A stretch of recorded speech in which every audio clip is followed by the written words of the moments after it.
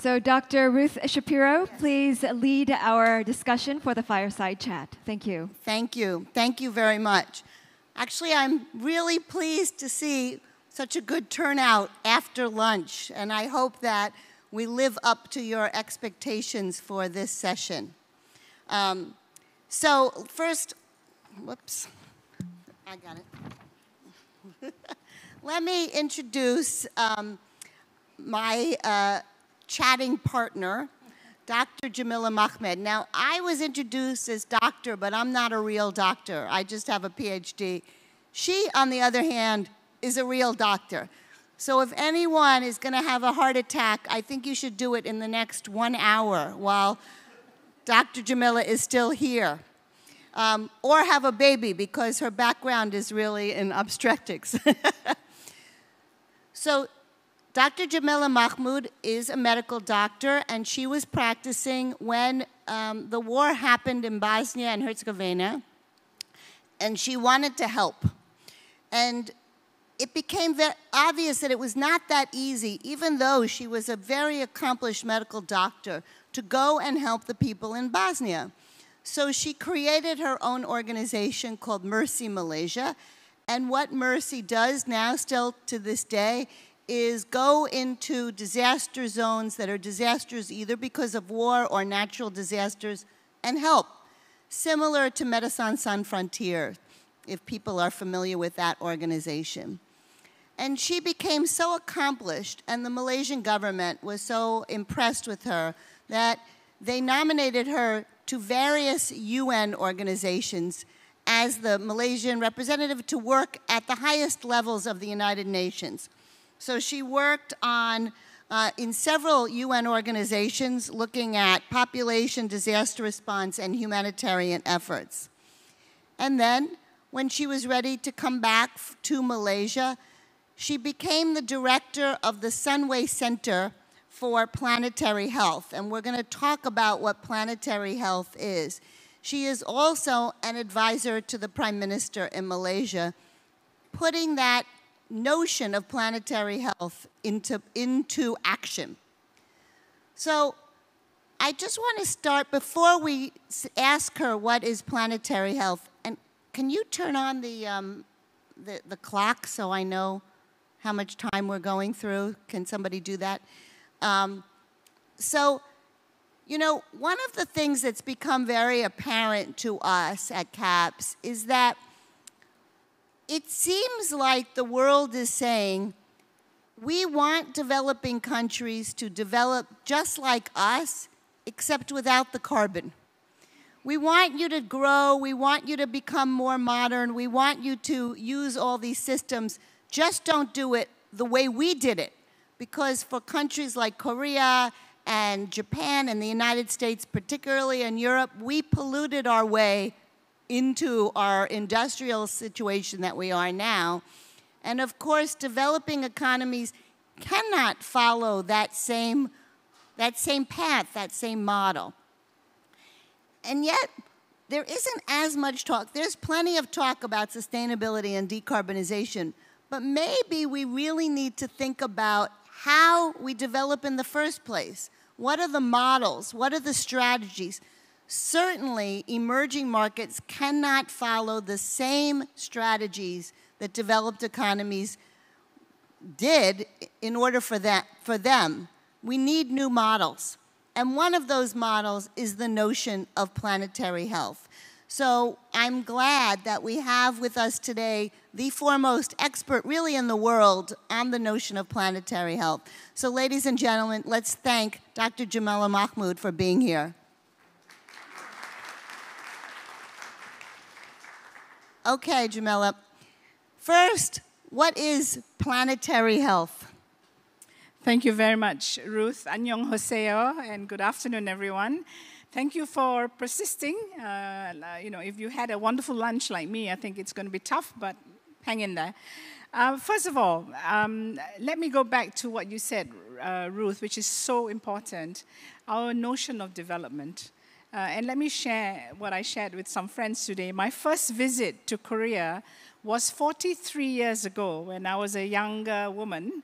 Um, and Korea was still very agricultural based, and uh, we, we from Malaysia were, were looking at how Korea was transforming itself from an economy then to, my goodness, a, a, a really successful country today.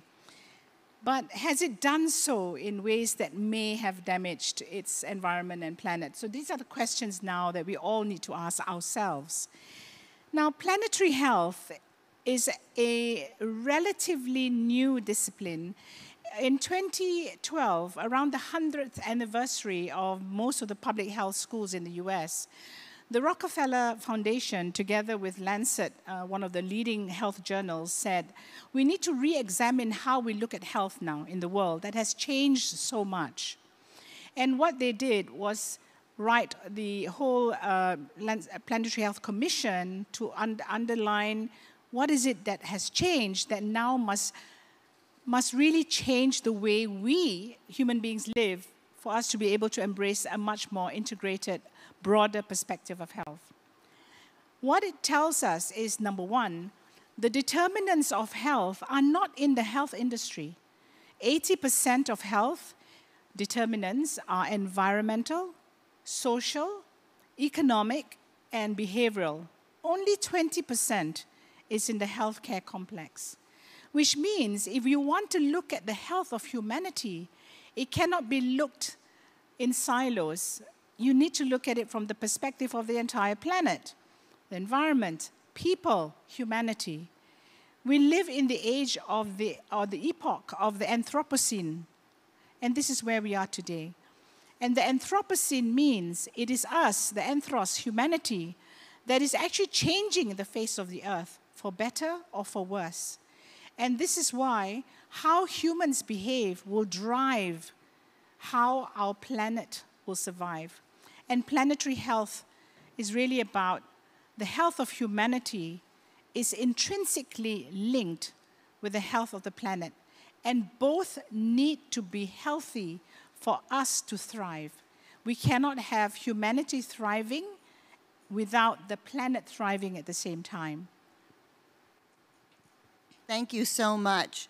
So I think that would it be helpful to have the slide now? Sure, sure. Um, that sounds good, but what, what, what does it really mean? What are we talking about? And so um, what Dr. Jemilah is going to do now is walk us through what does planetary health, what does it look like? What does the model consist of? And we have up a slide and will you please, exp- there's two slides that explain it. Okay. This is the first. So will you please walk us through this slide? Sure. So if we say we want to be healthy and we want humanity to survive and thrive, what are the requirements? What is it that you can measure to tell us that we are living in a safe space? So a group of scientists led by Johan Rockström from the Swedish Stockholm Resilience uh, Institute came together to say, okay, what can we actually measure? And they found that perhaps these nine indicators are a good place to start. And if you look at them, climate change obviously is one. We can measure the uh, climate change either through uh, you know, CO2 levels, temperatures, and so forth. You can look at freshwater change because freshwater is crucial. You can look at ozone levels. We can look at atmospheric aerosol loading, and these are really chemicals that are in the air.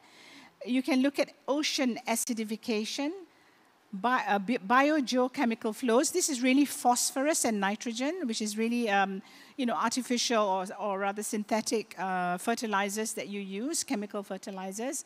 Novel entities, what are they? They include microplastics and other things that maybe we haven't discovered. And of course, how we use our land, that has got to do with environmental degradation. And then biosphere integrity, this is about our biodiversity and so forth.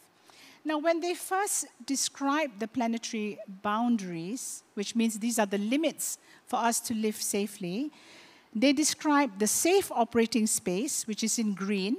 If we are in the green area, we're going to be safe.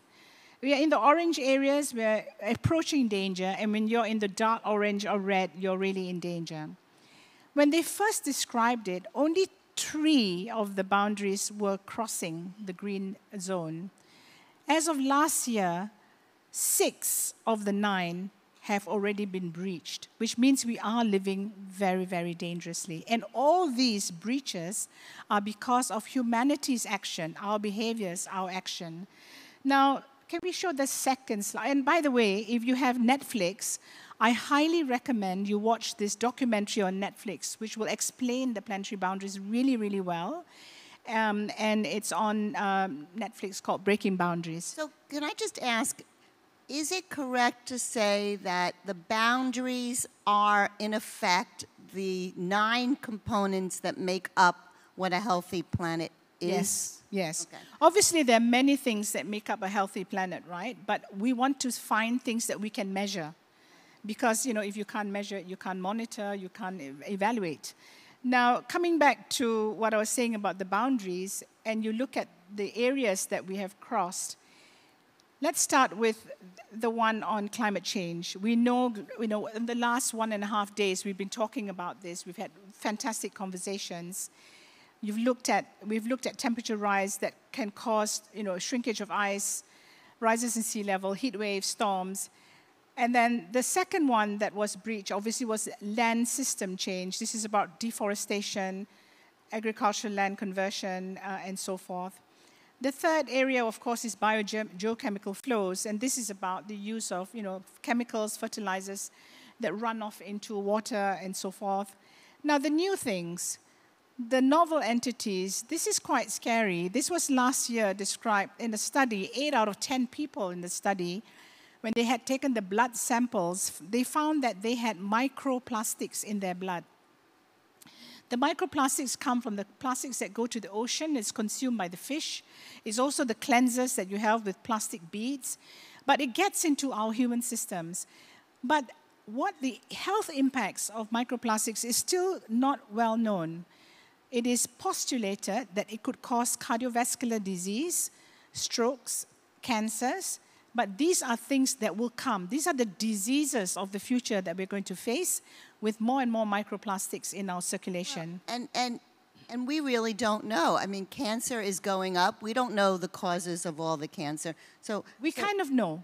We kind of know because it's all related to this. Uh-huh. It's all related to the planetary degradation because cancer, non communicable diseases like high blood pressure, diabetes, are all related to processes of inflammation.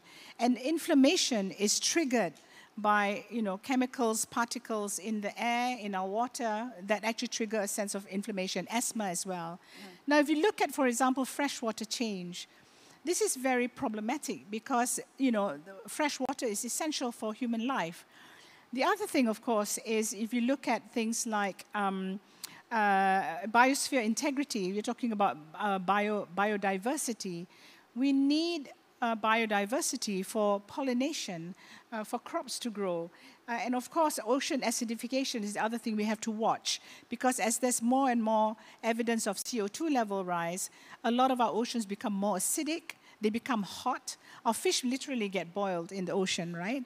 And, and, well, and I don't think people realize that the ocean actually has been absorbing a huge amount That's of right. carbon and it's reaching the saturation point. Absolutely. Right? So we don't see it because the ocean looks the same, yeah. but it's been happening. Can I just ask you, what is green water? Yeah, so water basically, uh, there's green water and blue water, right? So green water is. Sounds beautiful. green water is literally water that runs off from the sky, and uh-huh. blue water is normally from the rivers oh, okay. and, and, so forth. Yeah, there are ways that they quantify green and blue water. But what I want to say is that every single one of these have health implications. So I often say to people, we've all had a shared experience of COVID. Every single one of us in this room, we've been impacted. Some of us may have fallen sick. I got COVID once. Some of us may have lost friends. But definitely all of us were impacted either economically, socially, and so on and so forth. All diseases, all illnesses are related to the planetary damages that are happening today. And if anything, we need to bring the health perspective out because if we are going to change, we will change when it affects us it impacts our lives. We all want to be healthy. So if we don't recognize that climate change alone is not just about, you know, polar bears, it's about our health. And that if we don't look at planetary health as a multi-systems approach, that for us to be healthy, we need to have economy that is healthy, we need to have social conditions that is healthy, which is equity, we need to have environment that is healthy, and therefore it requires all of us to work differently. We have to have systems shifts so that when we address problems, we solve the problems together and not just the health ministry trying to solve health problems. The health ministry needs to work with the transport ministry to reduce pollution. It has to work with the finance ministry to ensure that economic development incentives are green. It has to work with businesses. It has to work with social situations, right? So it's all linked. And our lives are so intrinsically linked with the health of the planet. You know, I think a lot about the differences between Asia and the West. Yeah. And, um, and you and I talked about it. In Western medicine, there's somehow this conception that, you know, if you have a respiratory problem, you don't go to a, you know, one kind of doctor. If you have, you know, a digestive problem, you go to another doctor. And those doctors may or may not talk to each other. And it's pretending like somehow your body is not one body. Um, but in, in, in this part of the world, there's more of an understanding that, in fact, everything is happening inside. Yep. And we are all linked. So I, I think, in some ways, I don't know if you have felt this as you've been pursuing this uh, model, Jemilah, but this concept makes a lot of sense within Asian like philosophies and cultural contexts and histories because in this part of the world we do we have always understood the interconnectedness of systems. Yep. So I'm hoping that Asia is, is, is really takes the lead in, in thinking through these kind of models.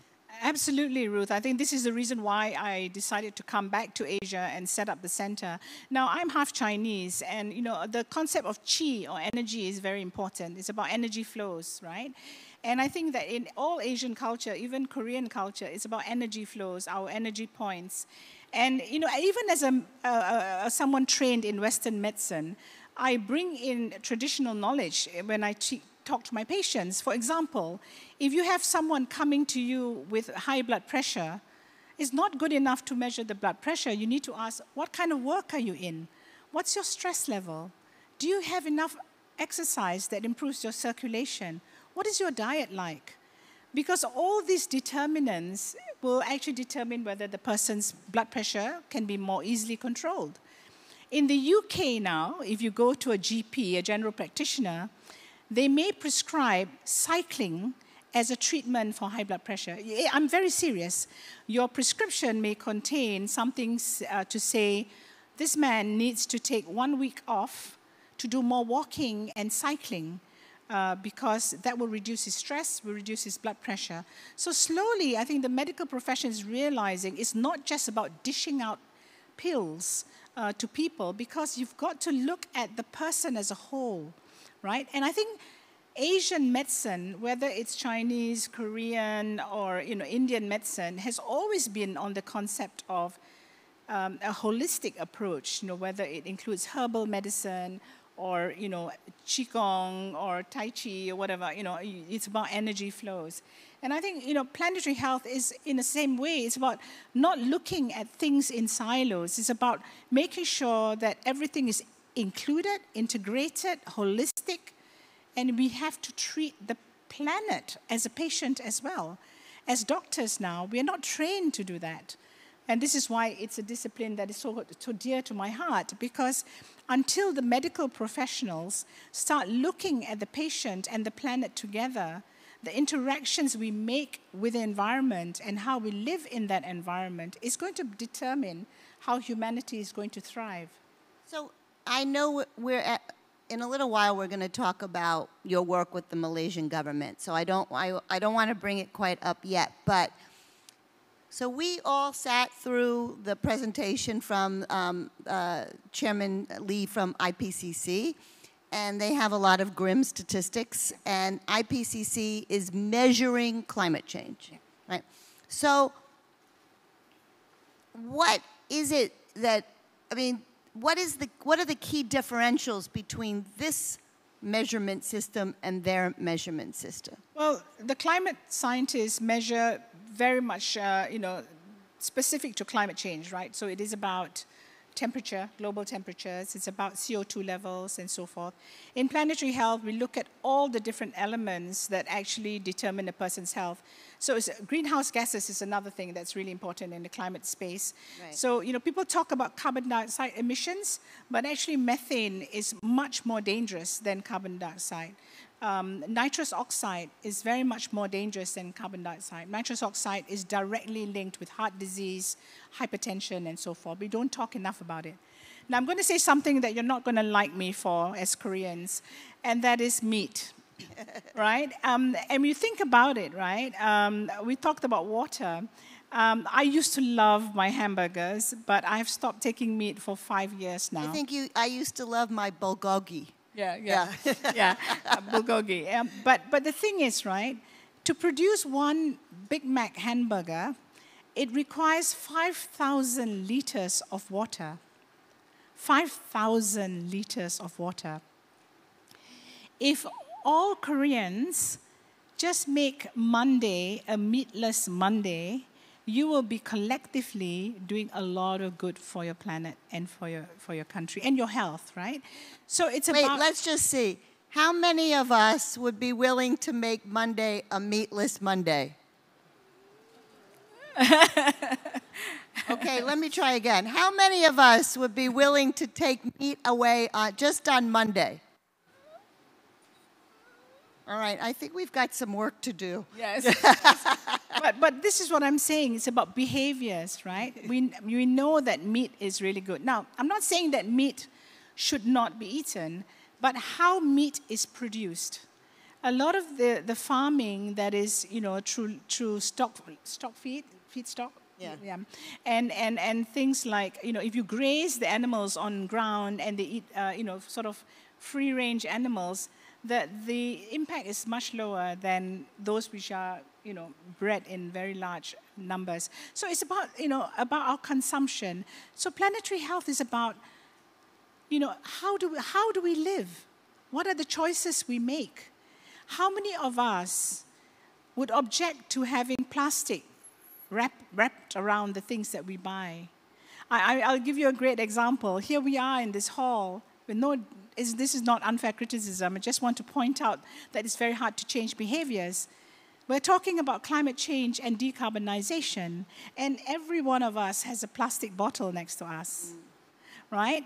And we've got lovely people like Jose who will take this stuff and build buildings, right? But, but, uh, but what I'm saying is that how do we change the culture, the understanding and appreciation that maybe we do things slightly differently?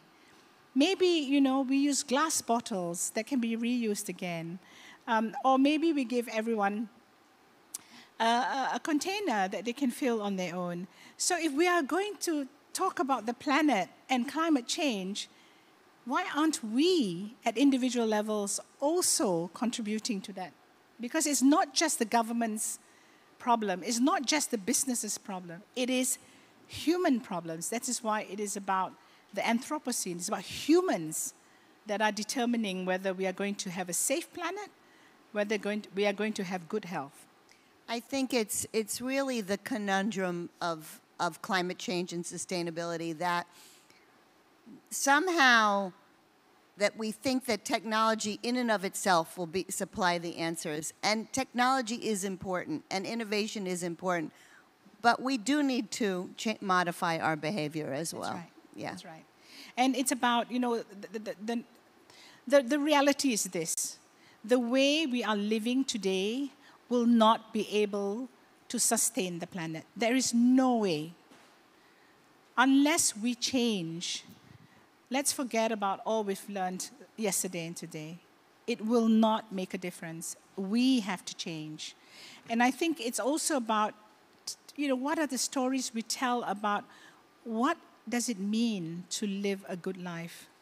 I think we need to go deep into ourselves and re examine that. And I think it requires a philosophical, fundamental, inner look at ourselves to, to tell ourselves what does it mean to live a good life.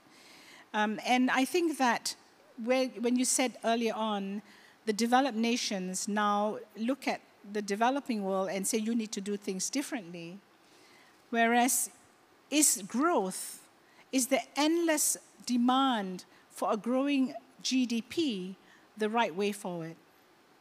Is that going to determine humanity's ability to thrive? So let's talk about the economics that you just brought up. You have a economic model, um, and I th- think I should be able to That's right. show it.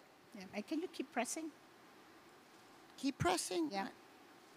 Keep on. Keep on. Yeah. Okay. Finished. Yes. Okay. So when we talk about economic models, maybe we need to look at a new economic model. this is called donut economics, and But it doesn't mean that you should eat donuts all the time. yes, yes. um, but Make it more palatable. the, the donut economic, it's called donut economics because it looks like a donut. right.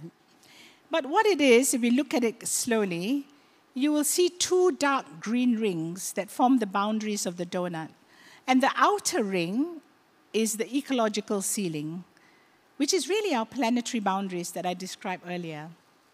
So, which means that as you look at development, we need to be aware that there are planetary boundaries that I described earlier that we have to try to protect. But the inner ring is also very important because it's our social foundation. Because you need to build schools, you need to have education, you need to uh, uh, uh, have poverty alleviation, you need to have equality, housing, and so on and so forth. And those are really our sustainable development goals. So it's about how do you find the balance, that light green space, that safe space, and a just space for humanity. And just is a very important word because it's about equity. It's about having development that takes into account that every human being has a right to live a life that is good. So the donut economics model tells us that perhaps as we look at our development plans, we need to be more cognizant of our planetary boundaries while recognizing our social foundations are also important. How do you find the yin and yang? How do you find that balance that is so deeply rooted in our cultures? If you look at all the symbols I put on the right side, these are symbols in our cultures the yin yang, the, the uh, Latin American, the Incan uh, diagrams, they're all about finding balance. And I think that we have lost it. We need to go back to our compass, our inner compass for human prosperity. And this is what, you know, the new development model and paradigm is talking about. Now, you may think, okay, this is all very good.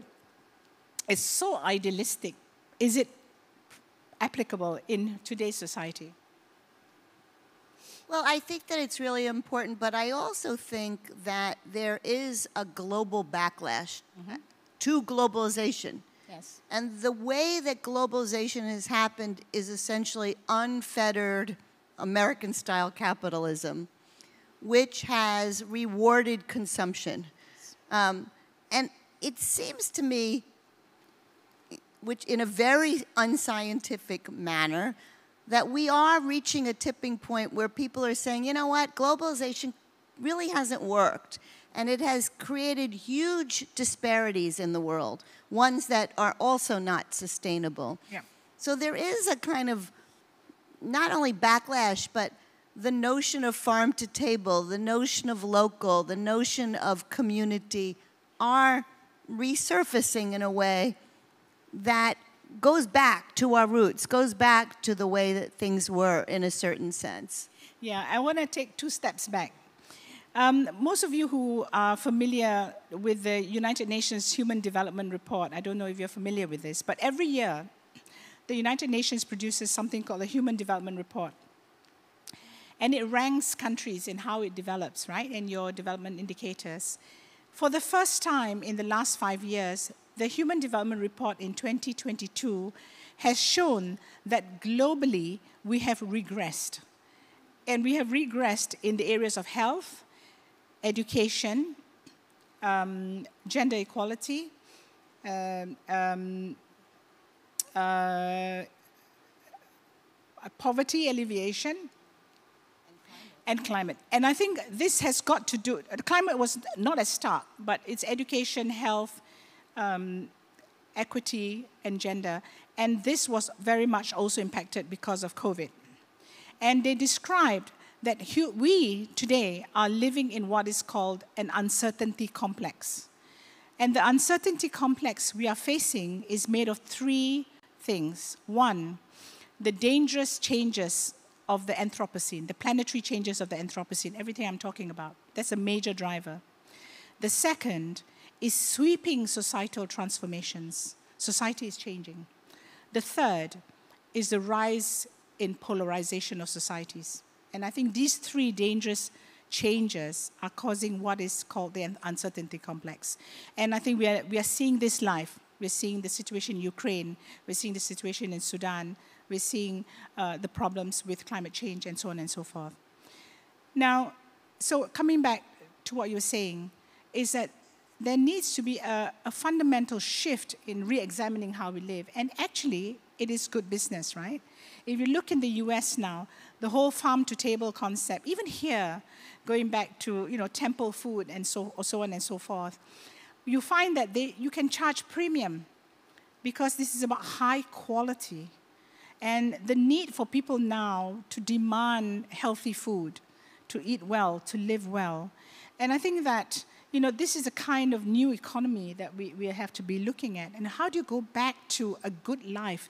Again, you know, what I said earlier, what does it mean to lead a good life? Um, and I think that with the donut economic model, it is now being implemented in a number of countries. The first city, and it's very much at city level. So it doesn't have to be a global phenomena. You know, it, it can be very, very local at a municipal, at a city level. And the first city to implement donut economics is Amsterdam, followed by Brussels. So let me give you some examples. If you go to Amsterdam and you go to a supermarket, they will tell you that this product has traveled how many miles and the carbon footprint of a product. And therefore, you pay a premium on the carbon footprint. So you, you can then make a choice. Either you buy something very local or something that has a high carbon footprint. And therefore, Amsterdam also has transformed the city to be one that is walkable and one where you cycle. Less uh, traffic going through the city, less pollution, less emissions, better health. And with the more walking and more cycling, also better health. So, is it only for the developed world? So, I'm involved in Malaysia in piloting the first city in Asia called Ipoh, which is just north of Kuala Lumpur, uh, which has just started the pilot on uh, a donut city. So, what does it mean? It means that you look at the development plans of the city and you try to retrofit it and to see how you can limit the planetary impact of that development plan. How can you actually make sure that society thrives?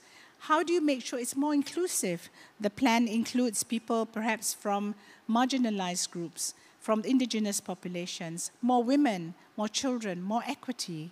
And how do you look at alternative forms of economic development? So, for example, in Ipoh, in the state of Perak, it has the cleanest rivers in, in Malaysia.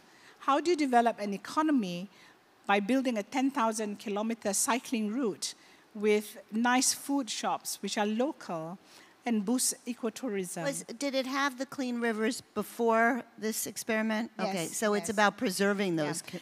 And Seoul has great examples. If you look at Cheonggyecheon, right, the, the, the stream, um, I've studied this stream because of planetary health. It's one of the best examples. The river, the, go, the, the, the, stream, yeah. right? It's not a river, it's a stream. Well, but before that, they call was, it a river. is it a river or stream? Is it a river or a stream? The, the, the one, the, the resurrected one in, in Seoul? Stream. Stream, yeah. okay. So, so corrected. yeah. So um, before that, Ruth, there was a highway. Yeah, I know Uh, that. And, and it was very polluted. But the government took the initiative to clean the river up, change the entire landscape. right. So much so that it is now a place where people can rest after work, people can walk, improve their health. The water is clean, you know, and, and I think this is a fantastic example of, you know, a city that is embracing donut economics, right? So about bringing different perspectives. So you can localize how you actually improve the quality of life for people in a city or in a municipality by taking into consideration the impact of your policies and your development on people's lives. Jemilah, I, I understand um, I understand about the stream in, in, in here, and I've walked along it. It's wonderful. And I understand creating a bicycling path along a river in Ipoh. But you also mentioned allowing um, more vulnerable people to participate. What's the vision? Like, how does that happen um, in a donut economy, in, in, the, in, in, in this world that you are Yeah. creating? So let me talk a little bit about indigenous people, right? Indigenous people make up what, 5% of the world pop- world's population. But in terms of reforestation programs, indigenous people contribute 80% of reforestation. Imagine if governments and the private sector partnered with indigenous people, because for them, it's not about asking them to do things differently, it's how they live. They live with the forest, they live with the environment. And about giving them that, empowering them to say, go and do what you normally do, and we will invest in you. Then, you know, you can leave it to them to make sure they will protect the forest and the environment. The solutions are often in the hands of local people and indigenous populations. It's just that we have marginalized them in some of our planning and our development. I think this is really, really important. How do we make sure it's not just about consulting, but actually inclusion and participation in policies and decision making? I think this is very important. The other thing around, it is women. Women actually change societies. When you actually empower a woman, she empowers the entire family, she empowers the entire community. So it's not just about consulting women and ticking a box to say women have been consulted. It's about making them drive some of the policies and drive some of the leadership that is required. So I think this is how you bring in, you know, other groups. Um, you know, for example, you know, some of the things we are doing in Malaysia, um, you know, it's very small scale compared to what Jose and others are doing. But there, is a, there are some organizations that are taking plastics that are non-recyclable and bringing it to poor communities and helping them repurpose the plastics into things that may be sold and therefore improving their economic uh, livelihood program. So there are many things that can be done. I mean, honestly, it's very easy to walk away from a climate meeting feeling doom and gloom. But I hope, like me, you felt so inspired this morning because the sense of possibility that humanity offers us is endless. Just as we destroy, we are the most creative people on earth. And I think the solutions are with us. If only we come together, we collaborate, we think together, and we create those solutions that are actually going to solve the problems. Because it is about mitigation, but it's also about adaptation. It's also about, you know, finding those financial flows and so on and so forth. So I think revolutionizing how we, we solve problems and not being stuck in those silos, right? And changing the way we work. I think that um, if I did see a label and it said product A used so much more energy and emitted and has so much higher commissions than product B, it would definitely affect what I purchase. Yes, So I think that's really useful. And that could be done in Korea, easily. I think, Yeah. very easily. Yeah. Um, I just want to ask you, um, you, you, you have an international reputation, and everyone in Malaysia knows who Dr. Jemilah Mahmood is. She's quite famous there. Um, and, um, and I'm, everyone's jealous that I get to have a conversation with her. So it doesn't surprise me that the Malaysian government would value your advice. But at the other, on the other hand, they have other problems. It's still an emerging economy. So, can you just tell us the whole conversation to go from the concept to rolling it out in a city like Ipoh? What was that like? I think COVID was a real crisis, but with every crisis is an opportunity. And what I did, you know, I was fortunate to be advisor to the prime minister at the time and an economic advisor as well. And what I said is, do you want to come out of COVID doing things the same way that you did before that, which actually caused the problem? And I think many people realize we have to do things differently. And our national development plans were being, you know, our five-year development plans were being drafted at the time. And what we managed to do was influence that to include the planetary health language. We've taken that one step further now to say, let's develop a national planetary health action plan. How do we now bring different ministries together to think through how do we make the economy and people prosper without damaging the planet. And it's quite radical, it's quite difficult. Now, having a plan is one thing, implementing it is another, right? And this is where partnership comes in, bringing civil society in, bringing businesses in, and so forth, showing the economic value. If I tell you now, the economic costs of COVID at the end of 2020 was $20 trillion.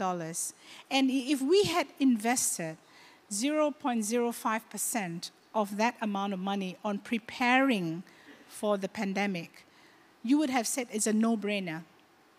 But no one put the money in to prepare for the pandemic. So we're always caught after the crisis thinking what we could have done better. So I think what we need to do better is translate the health implications, the costs of everything that we do and making sure policymakers, lawmakers realize that there is a price tag to health. And we all saw without health, your economy is stagnant, your social life is stagnant, you're miserable, people get mental health issues, children's education disrupted. So, you know, there's so many things that go wrong. You know, health is wealth, as they say, right? So this is why, Ruth, you know, bringing a planetary health national action plan is going to be important. You know, we're, we're working on it now. We hope it'll be ready by next, early next year. We're hosting the first ever in Asia, the Planetary Health Summit in Malaysia next year. We'll be hosting it. We want to bring businesses in.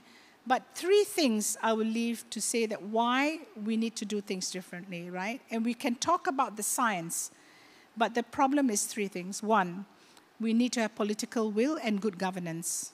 Without that, nothing moves. Secondly, we need to have communication that is able to translate science beyond jargon into things that you and I and the woman selling things in Myeongdong market understand. How do you make it personal to people that science applies to their lives? And I think this is where we failed in an area of you know, social media, misinformation, and so forth. The third, I believe we need an education revolution. Young people today understand climate change. A number of, uh, many young people don't want to have children because they say, what is the point? This planet is so terrible. Why should I have a baby and bring up a child? Now, this is going to create serious economic problems to countries like Korea and Japan and Malaysia because we're an aging population. So there are many reasons why you need to have a look at education as well. So if I give you one example, in the university that I set up my program, from next year, planetary health is mandatory, a seven-week program. Whether you're studying engineering, communications, humanities, culinary arts, you need to do seven weeks of planetary health because we want to make sure young people who become leaders in the future understand the decisions they make whether at policy level, business level, activist level, are going to have an impact on the planet. And they need to make the right decisions. All right. Well, that was very inspirational, very important, and I think you would all agree that Dr. Jemilah Mahmood is a gift to the world and a gift to us today. Thank you so much.